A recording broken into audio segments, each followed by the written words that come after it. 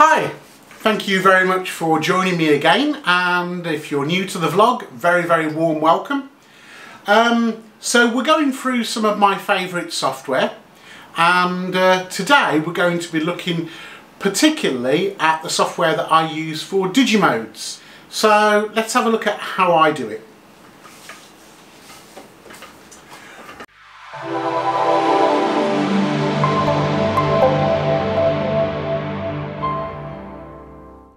First of all, we've already seen in the previous videos uh, these screens. So we know what the Power SDR software is and we also know what Log4OM is.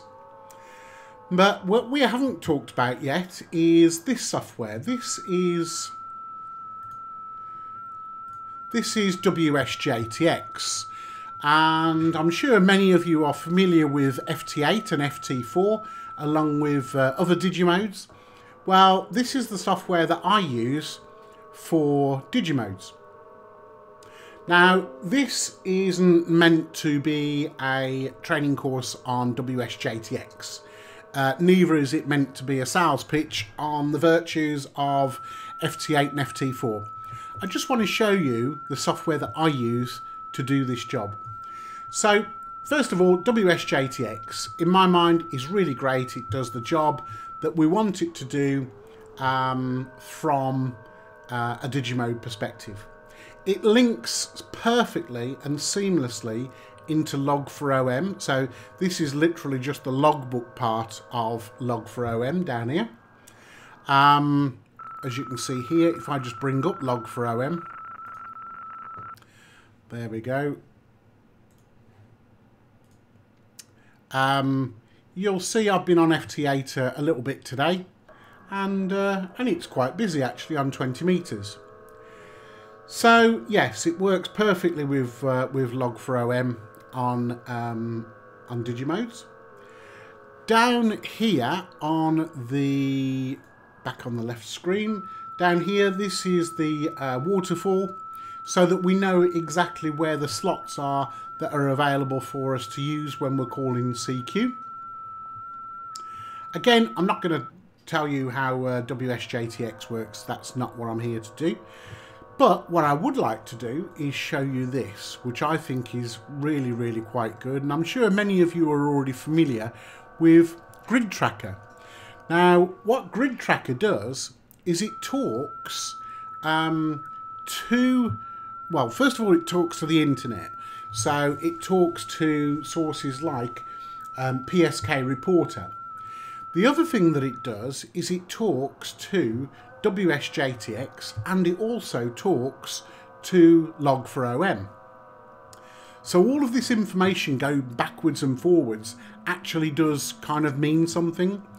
So if we look back here at the, uh, the Log4OM screen, you'll see that I've had uh, a number of QSOs over the, the last five or ten minutes or so. And what you'll also then see is that these QSOs relate on here, depending on uh, the age that I've actually got set in here for these tracks. So you can actually see effectively where your signals get into. What it also does is because it tracks grids, it um, Sorry, I just got uh, distracted by the other screen there. It uh, it also shows you where you've talked to in the world and also um, who's currently transmitting, who's currently receiving on different bands. So the kind of information that it gives you up here is it will tell you obviously uh, time and how many uh, how many physical calls are active, how many people are actually on, how well you're decoding and how well you're calling. Um, there's there's a fair bit of setup involved. It's not too arduous, but it, it is quite in depth as far as getting all the various different software packages to talk simultaneously. So that's quite involved. But I think for the end result, um, it's actually quite spectacular, to be honest. I think so, anyway. So um, there you go. I just wanted to really give you a bit of an insight um, into how I do it and what I do. Obviously, um, using the Flex, the Flex takes care of everything. So you know it, it's it's connected to my PC, so there's no TNCs or or data cables and stuff like that. So as you can see here, all these various different paths are uh, stations.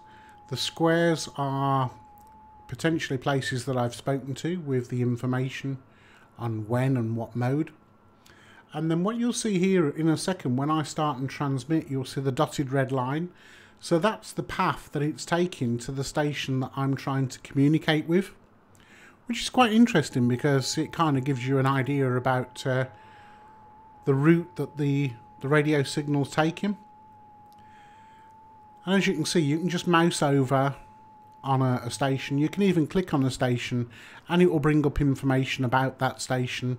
And equally, that you can then click on a link and it will take you off to their QRZ page. Well, there you go. I hope you enjoyed the video and uh, thank you very much for watching. And if you're not already subscribed to the channel, then please feel free, go ahead and subscribe.